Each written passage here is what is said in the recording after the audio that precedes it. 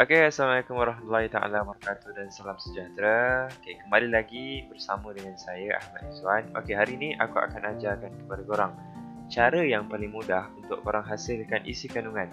Sebabnya memang dalam proses kita belajar ni, memang kita tak lari daripada buat assignment. Jadi, tidak boleh tidak sebenarnya korang kena tahu cara yang mudah untuk korang hasilkan satu isi kandungan. Okey, langkah yang pertama yang korang perlu buat ialah korang kena sediakan satu buku surat yang kosong sebelum daripada korang mulakan korang tulisan ni. Jadi ni kalau korang tengok dekat paparan skrin sekarang ni ada satu poin kosong bahan bantu mengajar. Yang ini aku akan terus pindahkan dia kepada buku surat yang baru. Tapi korang kena elakkan kalau pindah tu korang tekan enter enter enter enter, enter macam ni. Ha, sebabnya dia memang akan buat korang punya assignment memang akan sangat-sangat lari. Jadi elakkanlah perkara ni.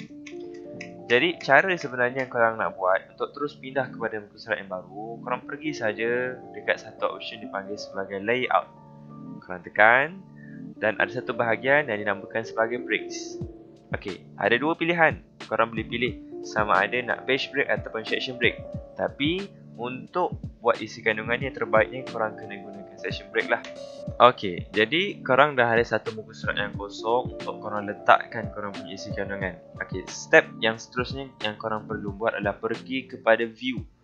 Kan dekat atas ni ada tab banyak-banyak ni, korang tekanlah dekat view dan korang klik select pada satu option yang dipanggil sebagai navigation pane. Okey, dia akan keluarlah satu tab kecil macam ni kat tepi ni. Ini untuk rujukan korang nanti bila korang buat supaya korang nampak jelas hasilnya macam mana. Okey, ini dah selesai yang ini. Okey, seterusnya Okey, seterusnya korang pergi pula kepada reference. Kat sini kalau korang perasan ada satu option dipanggil sebagai table of contents. Okey, kat sinilah yang kita akan guna nanti untuk kita hasilkan kita punya kandungan. Okey, first thing, okey, yang ini semua korang nak letak tau.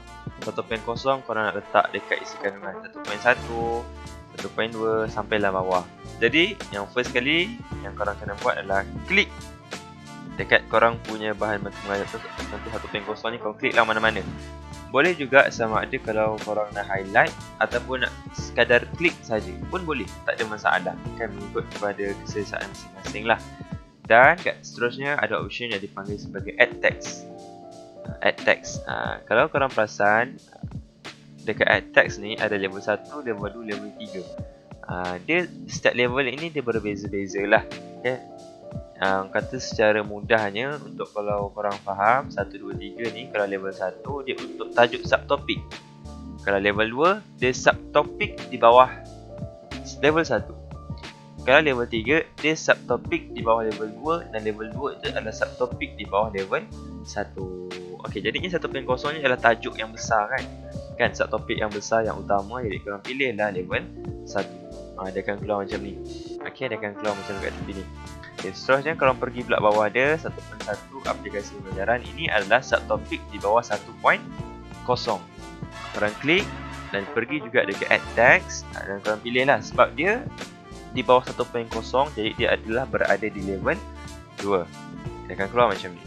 Seterusnya 1.2 masih juga berada di bawah 1.0 jadi dia berada di level 2 Seterusnya 1.3 sama berada di bawah level 2 1.4 sama masih lagi berada di bawah level 2 Sebab dia masih lagi subtopik di bawah level 1 Ok, seterusnya kat sini yang menarik kat sini ada 1.4.1 Ok, 1.4.1 ni adalah subtopik di bawah 1.4 Kalau 1.4 tu level 2 1.4.1 ini adalah level 3 klik level 3 Seterusnya 1.4.2 sama juga berada di level 3 Dan yang terakhir adalah 1.5 Ini adalah berada di level 2 Ok, kalau kat sini korang boleh nampak lah ha, Inilah hasil-hasil yang nanti korang akan letak dekat korang punya isi kandungan Ini orang kata sebagai dia punya gambaran Macam mana nanti hasilnya dekat korang punya kandungan Jadi kat sini dah selesai lah sebab bawah dah tak ada lagi ni.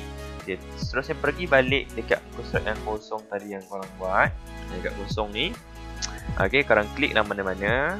Okay, dan seterusnya dekat sini ada option yang dipanggil sebagai table of contents korang klik dia akan keluar lah sama ada korang table 1 ataupun table 2 ataupun manual table.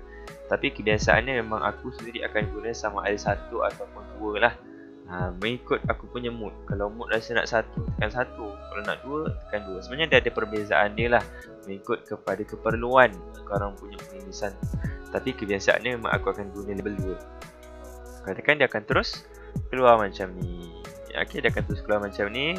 Berserta sekali dengan dia punya muka surat. Kat sini kau boleh edit sikit lah. Isi kandungan. Okay. Kalau warna biru korang boleh edit sikit Edit tukar warna hitam. Untuk font pun korang boleh tukar lah. Ha, Ikutlah kalau korang rasa cantik yang macam mana ha, Korang pilih lah. Okay, ha, itu sahaja. Sekian terima kasih. Selamat mencuba